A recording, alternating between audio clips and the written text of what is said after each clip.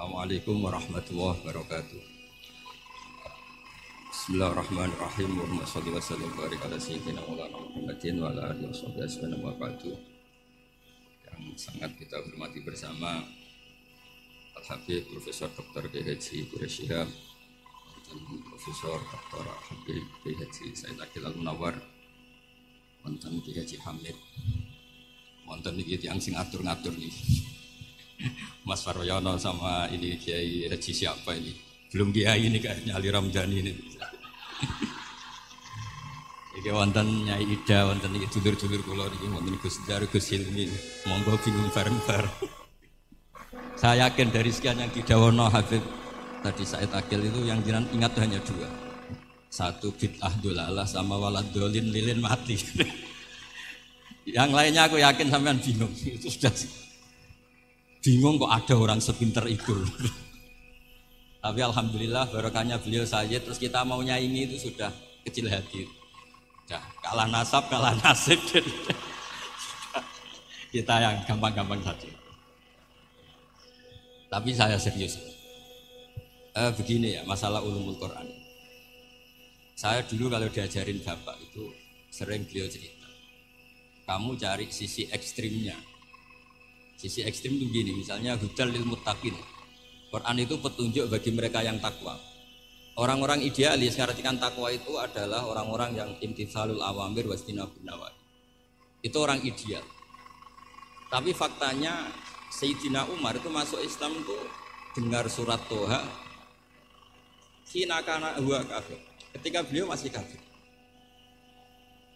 Beberapa sahabat dulu masuk Islam itu ketika mendengar Quran statusnya masih kafir.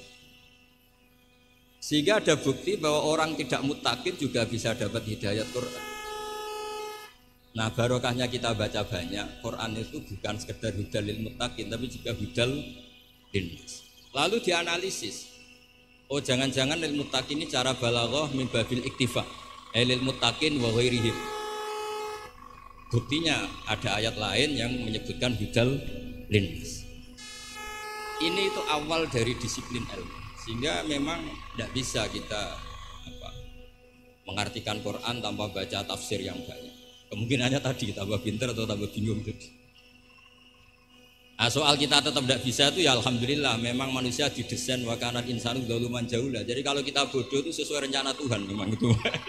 Jadi tidak usah disesali biasa aja memang dari dulu juga sudah direncanakan kita ini berstatus wakanal insanu doluman jauh itu cara balaghah itu doluman banget dolime jauhan itu banget banget dolimnya itu begini andekan kita ini orang baik itu juga nggak mesti baik. Tadi dawai Pak Kuras itu saya sering memberi analogi. Saya ini kata orang banyak kata orang banyak. Itu ketok. Kalau diundang di kampung sholat panjang itu kalau datang kata orang-orang itu tawaduk tapi kata kiai setempat itu mangan jatah kiai cilik Gus Jadi yang satu bilang tawaduk Gus, darah yang satu bilang cek mentalan itu Gus, jatahku buat jupuk. Sehingga saya sering cerita ada cara mana kipan. Biasanya kalau kiainya itu tuh Pak Said dapat ayam paling besar kalau kiai. Kalau yang lainnya itu ya suwiran. Barokahnya saya tidak datang yang dipakai itu kiai-kiai yang kira-kira mabadik fikih. Saya ini kan dianggap kiai kol Oh, itu maturnunya sama saya itu maturun Gus gak teko. Aku untuk suwiran gitu. Karena sekali saya yang datang itu ya kira-kira bintangnya saya. Jadi kadang-kadang antara tawaduk dan ngambil jatah itu enggak jelas.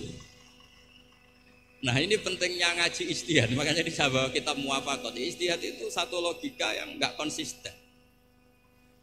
Sebab itu Rasulullah Wasallam itu kalau ngendikan, ngendikan apa saja, itu ya juga dianalisis oleh sahabat. Misalnya begini, ya umul qauma akrauhum li kitabillah.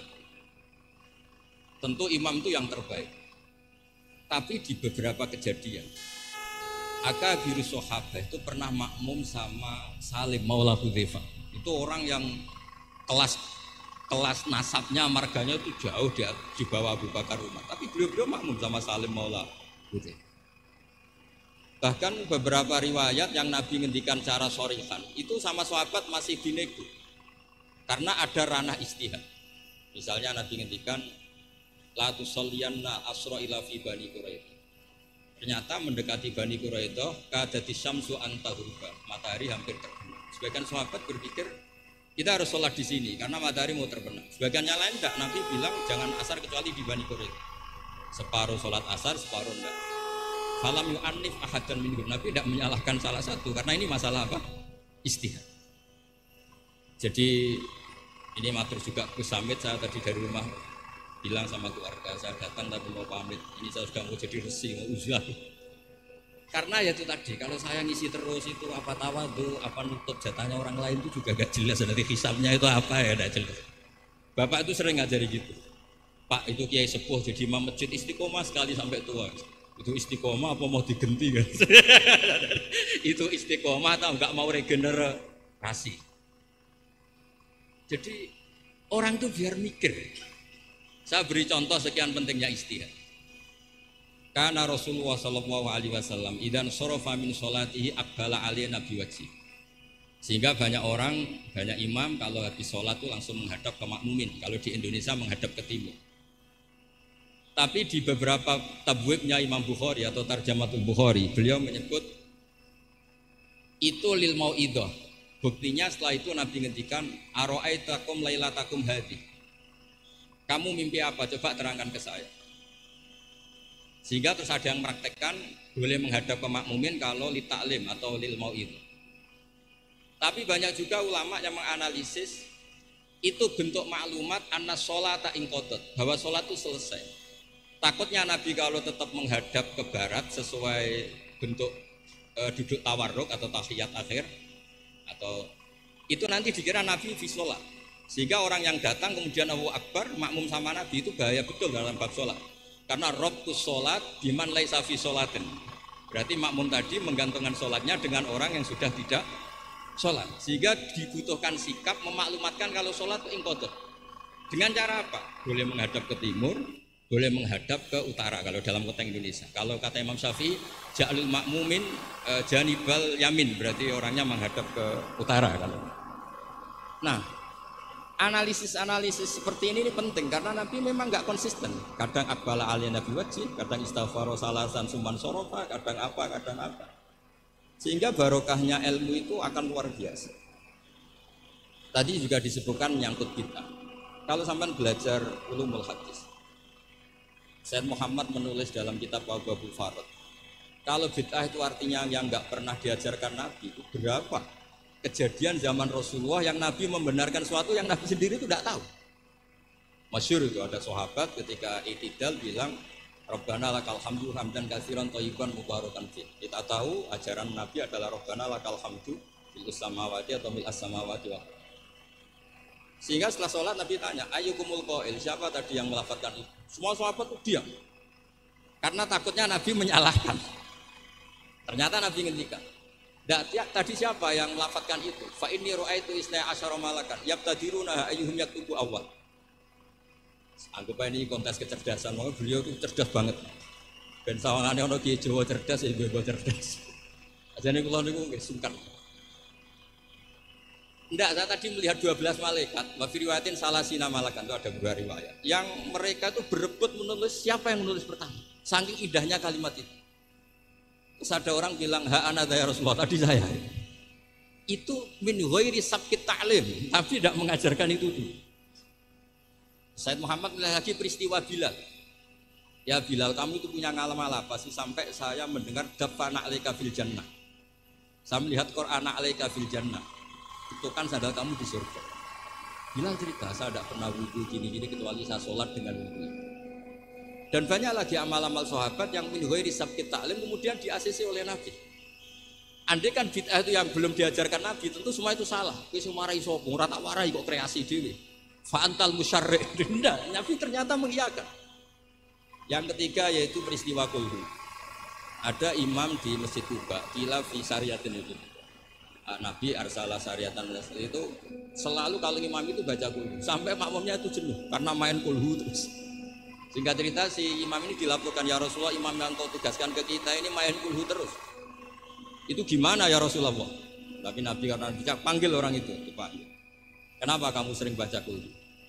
Ya, li li anna surat al-ikhlas sifatur rahman fa ana itu surat yang benar-benar hanya menerangkan Allah sehingga saya suka. Kalau surat lainnya itu kan surat proposal. Misalnya Anda bilang uji budak watadai terus dungo. Banyak sifatnya Allah yang kamu suka itu karena terkait Anda. Kalau ini enggak, enggak, enggak ada yang terkait kita murni tentang Allah sehingga saya suka. Makanya disebut suratul ikhlas. Kalau Anda baca Ar-Rahman mesti terus hanya irhamna. Anda baca Ghafur terus ighfir lana. Jadi kepentingan Anda langsung diungkapkan. Apalagi yang Al-Mujib. Wah, langsung ke mana-mana hajatnya disampaikan semua. Kamu yang punya utang, Allah yang kamu libatkan ya. Ya kan? Kamu yang ingin wayo, Allah kamu libatkan. Ya Allah, masih disuruh gak konangan itu kan. Gak ikut Allah, gak ikut utang, kamu libatkan suruh nyaur. Tapi kalau surat ikhlas tidak ada itu semua.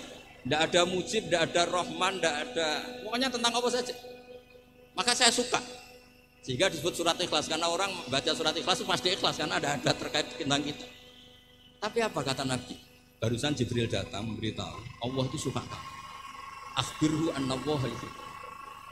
Orang itu senangnya bukan main. Nah barokahnya ngaji seperti ini kalau anda melihat imam main kulhu saja orang alim alama itu pasti baca hadis tadi. Tapi Imam Ahmad tuh gak suka ada orang sering baca kulhu ini cerita istihad, gak suka. Beliau dikasih tahu ini kampung ini sering baca yasin, kampung ini sering baca kulhu. Marah besar Imam Ahmad. Ayuh jarul Quran, ayuh jaru ghairu suratil ikhlas, ayuh jaru ghairu surat yasin. Memangnya Quran hanya kulhu. Kamu ridho kalau Quran lainnya gak dibaca. Kamu ridho kalau surat lainnya agak populer, yang populer Yasin terus. Lam yakun se'unnal Quran mahjura. Enggak boleh Quran jadi mahjur. Harus dibaca semua.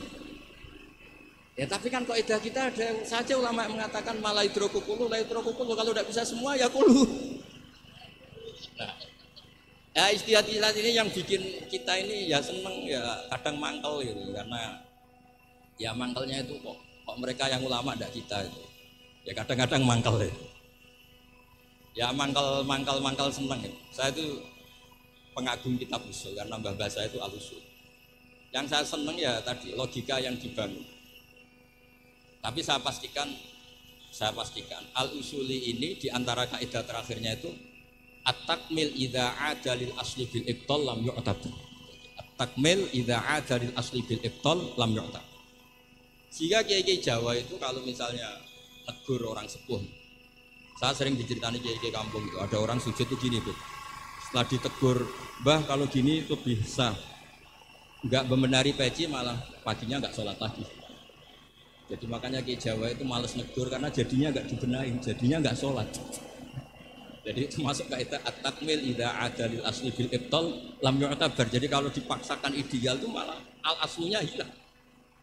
Makanya kitab ini yang saya baca, kitab ya Imam Syatibi. Asyatibi itu ada dua, ada Asyatibi al-Usuli, ada Asyatibi yang al-Mukri, yaitu yang orang Firzul Amani itu ya. Nah, ya. Nah itu ini nanti saya baca beberapa kaidah dalam ulum ulum. Jadi istihad itu tidak bisa ada, tidak apa ya, tidak bentur.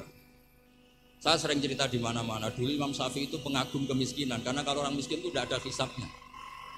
Oh senangnya bukan main dengan miskin. Selain faktanya miskin, itu senang tahu dengan orang miskin. Karena ada ada visa. Setelah ngaji sama Imam Malik, beliau tanya, siapa orang yang selevel jenengan ya Malik? Ya dulu ada Imam Abu Hanifah, sekarang sudah wafat. Tapi ada muridnya. Namanya Muhammad bin Hasan Asyibani. Setelah beliau datang, Muhammad bin Hasan Asyibani itu kalau ngitung emas, itu di meja tamu. Ngitung uangnya di meja tamu. Uangnya. Imam Syafi'i itu ngelus dodo. Orang sealim ini kok kedonyan. Tapi kata apa kata Muhammad Hasan Asyibani? Kalau kamu orang soleh gak boleh punya uang, gak boleh kaya, kita kasihkan sama lonte, sama koruptor, sama tukang dugem, tukang apa itu, uh, tukang judi. Jangan-jangan kalau dipakai orang fasik nanti gak karu-karuan. Jenengan saja. Baru sadar, iya. Kalau yang orang soleh kiri semua, yang fasik kaya, berarti ada syauqatu zalim ala soleh. Ada syauqatu zalim Kayak apa bahayanya? Ada saltonatul fasek ala sholat. Semenjak itu Imam Syafi'i itu tuh sampai fatwa berlebihan. Orang Islam yang bisa kaya kok miskin haram. Kuat beli alpat kok beli keri tua haram terus berlebihan. Kalau Gus Ilmi kuat jabat kok ndak haram. Pokoknya terus ekstrim. Sampai al-Islam ya wala yulala. Terus kata kiai-kiai Jawa yang alhamdulillah banyak yang miskin juga. Komentarnya lucu tuh. Wes ngerti bah, cuma ora kelar. Artinya punya selera kaya itu kita sudah punya, jangan karamkan. Semuanya tahu. Cuma nggak mampu, jadi sudah salah no. Tapi barokahnya itu Imam Syafi'i menjadi tahu bahwa bukan sekedar apa ini miskinan wa amit ini miskinan tapi Nabi juga pernah ngendikan nikmal malu soleh lil maris soleh. Bahkan Imam Saroni ngendikan kamu murid-murid saya harus jadi orang kaya. Kenapa Imam Saroni bukan kan kita disuruh zuhud. Nanti kamu kebingungan baca ayat ini terus beliau baca anfiku anfiku artinya kalau kamu miskin pas baca anfiku mimma rozaknakum kamu bingung karena kamu nasibnya yunfakun Qurannya itu yunfikun bukan yunfakun Yunfikun itu memberi bukan diberi. Jadi nah itu istihad. Ini ini ini istihad. Jadi istihad itu uh, sesuatu yang harus kita buka. Ya seperti inilah. Saya tidak tahu ini Gus Hamid ngundang saya ini apa ganjaran apa enggak. Kalau melihat senang orang alim, silaturahim ya ganjaran. Tapi kan santri saya yang sekarang mungkin baru sorokan sama saya ya ganggu saja untuk ya. Tidak tahu kan, yang didengar Allah itu komennya yang di sana dianggap sini pengganggu. Apa yang didengar Allah itu silaturahim dengan keluarga kerabat. Tidak tahu kan. Kulun muhtamilun. Kalau dimuin wafihi nadhurun itu. Supaya ya ini masalahnya masalah istihad. Enggak bisa. Kata Imam Abu Hasan Asyadili di muka syafatihi, beliau ketemu Nabi Muhammad SAW, satu ketemu Nabi Nuh. Kata Nabi Muhammad gojol Nabi Nuh, andaikan kamu tahu, an nafi aslabil kufar, man saya abdullah la yusriku bihi syai'an. Kamu tidak akan mendoakan mereka la tazar alal ardi minal kafirina daya.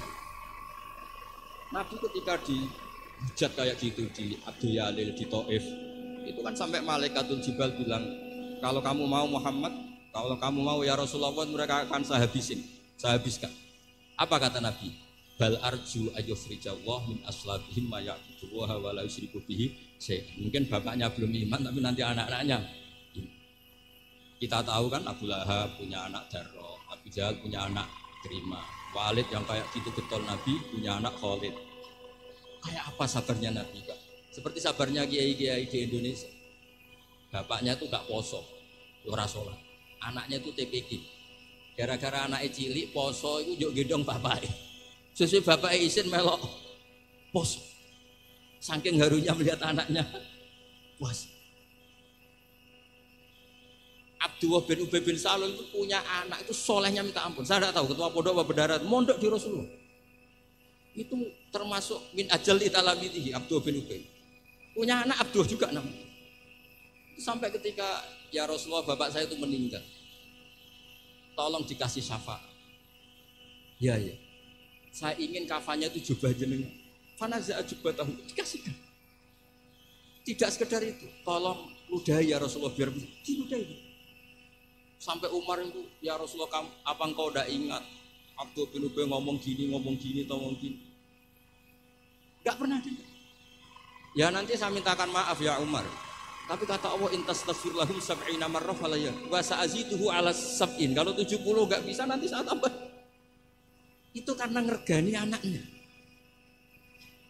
Kata banyak ulama mengatakan aslama bi fati Rasulullah wa bi ahwali Rasulullah itu alfun min ahli bait Jadi gara-gara sikapnya Nabi yang simpatik, orang kampung yang gengnya Abdul bin Ubay itu menjadi Islam semua.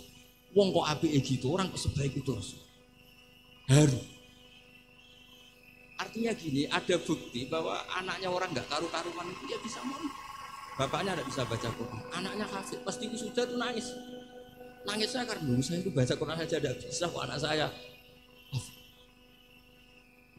Roja ini yang menjadikan kita semangat, tetap nggak frustasi niai di Indonesia. Karena Nabi ketika melihat kafir harbi saja, Nabi tetap menghentikan bal arju. Saya berharap ayuh rijawah min aslabihim ma ya'budu wa la yusyriku bihi Nah, ini sekaligus supaya saya di sini ada gunanya. Nanti kan undangan ini salah juga sebagai kafaroh bersama kafaroh semuanya. saya baca muafakot karena saya pernah virtual sama beliau nerangkan usul fikih. Saya juga bingung kayak dua orang yang ngatur saya ini. Tapi saya senang sama usul fikih. Saya baca semoga ini barokah sekaligus saya minta ijazah sama Habib Said Abil Al Nawar. Di antara cara ulama mensifati Rasulullah Shallallahu Alaihi Wasallam itu di antara cara cara madh Rasulullah itu begini. Ba'asahu seterusnya terus bimil latin hanifiyatin. Terus beliau ngendikan tahdil kafah fahiman wa Jadi agama ini agama ini tahdil kafah fahiman wa hobiyah wa tarfuku bijami'il mukallafin muti'an wa asiyah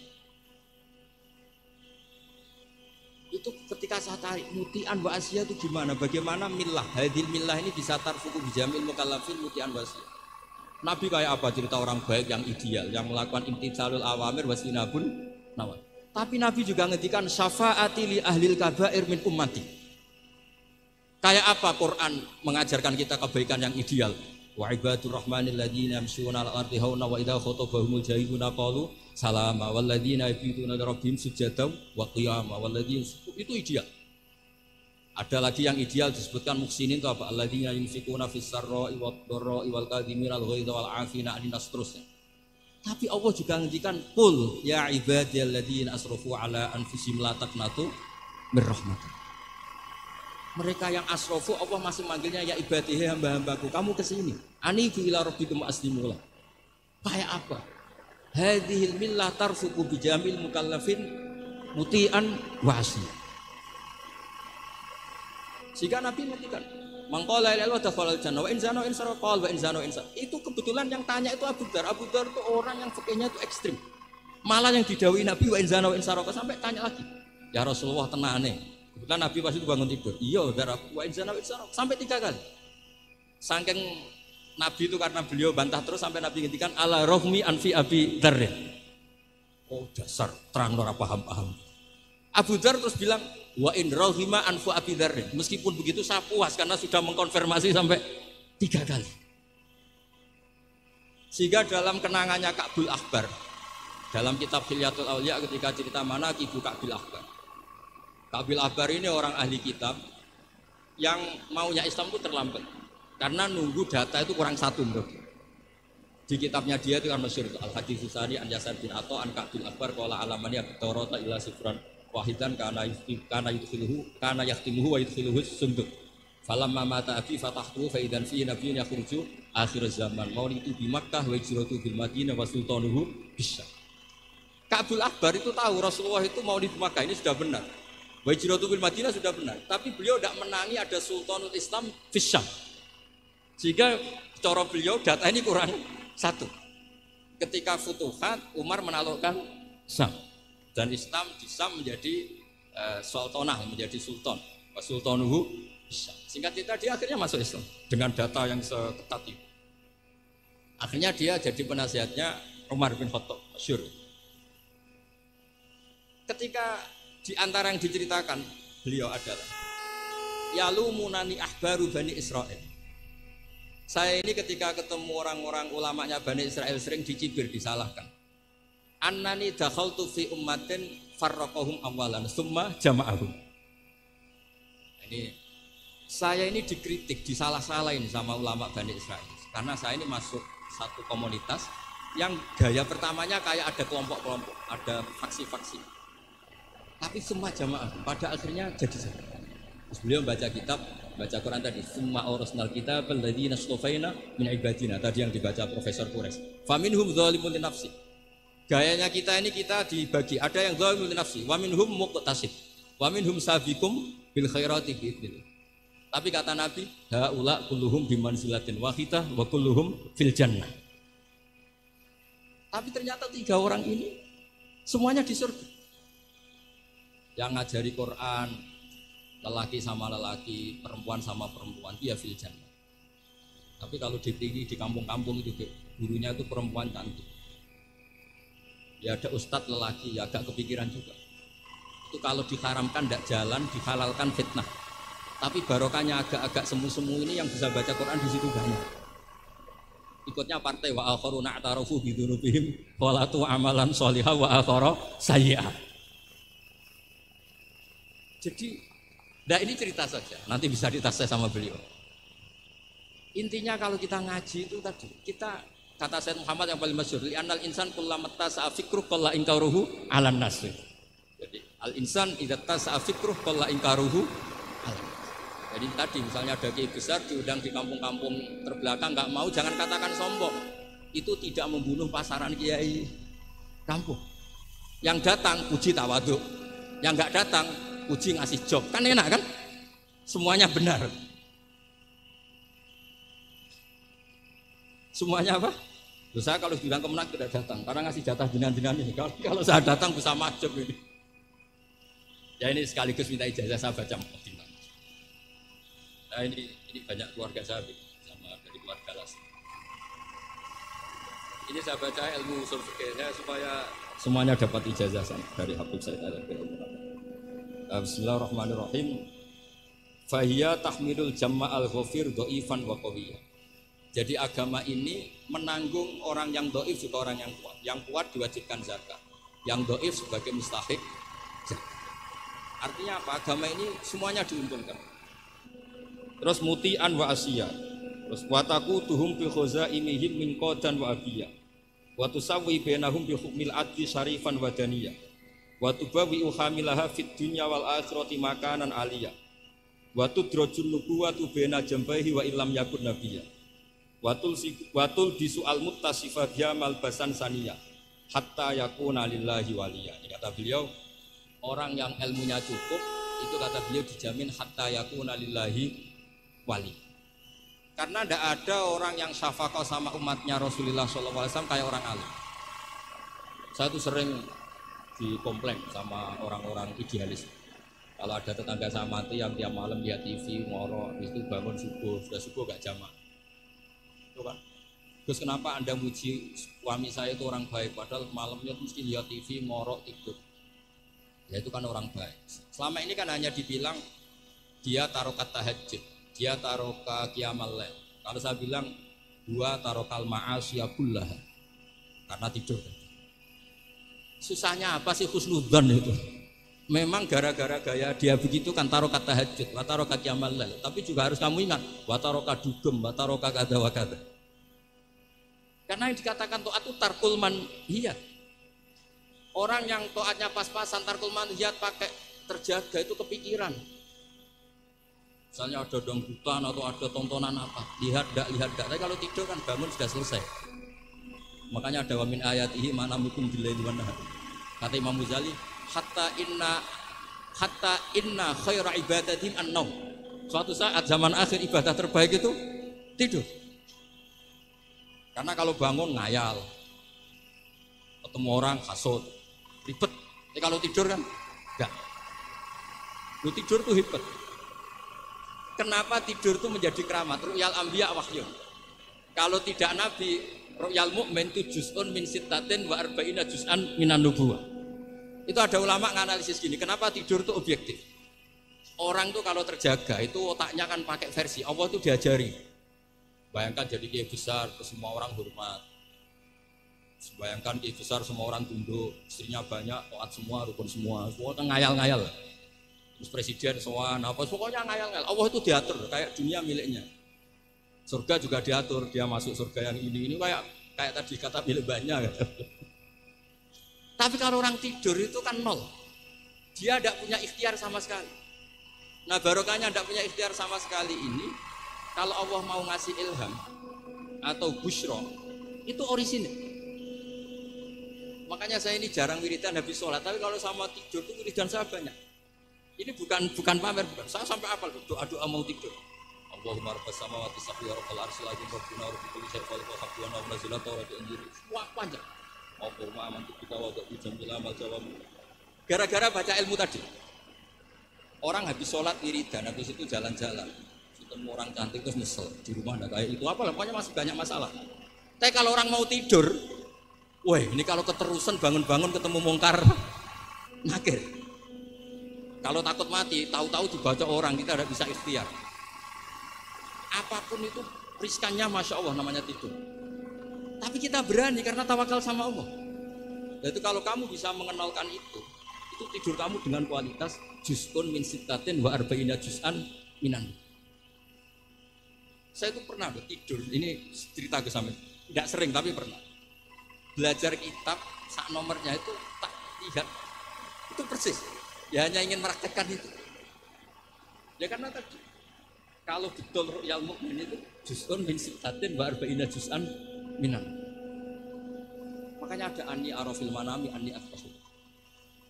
Makanya ketika Said Muhammad cerita, kalau ada kritikus tentang kitab madai, karena kadang pakai cerita ru'yal kafir, itu kata Said Muhammad di era sebelum Rasulullah SAW itu semua ru'ya itu orisinil ketika Fir'aun mimpi bahwa ada an-nanaron akhraqat baitahu terus ditakwil an-nawala dan min auladi bani Israel ahlaka mulkahu. Akhirnya nyata apa enggak? Nyata kan? Padahal itu ru'yal kafir.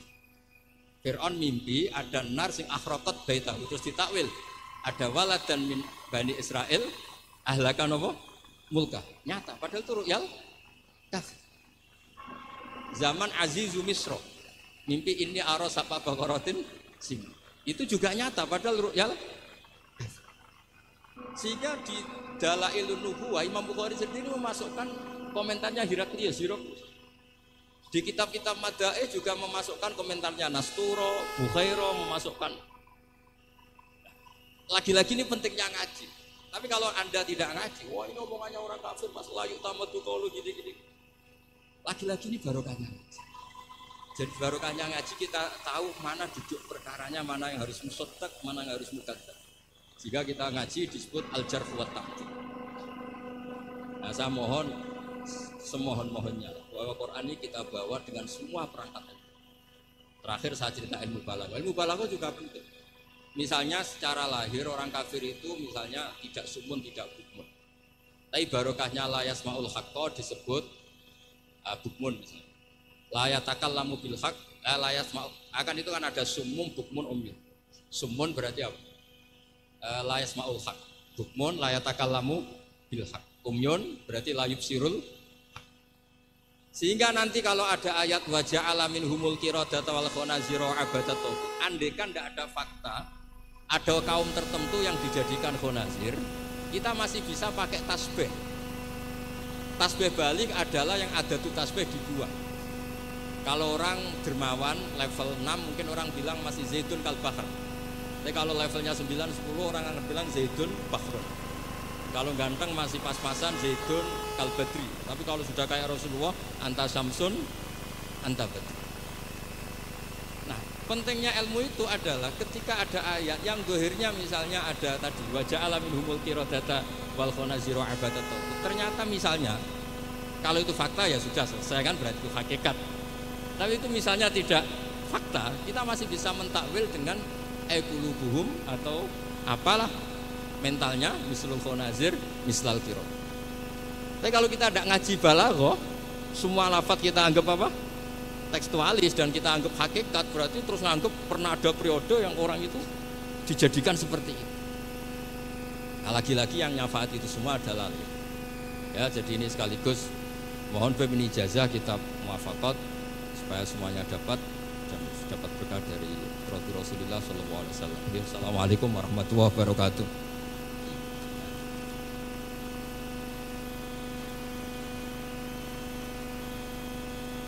Terima kasih Gus.